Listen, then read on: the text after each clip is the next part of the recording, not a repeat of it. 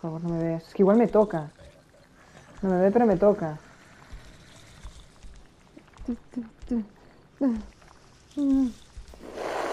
Me arrastró.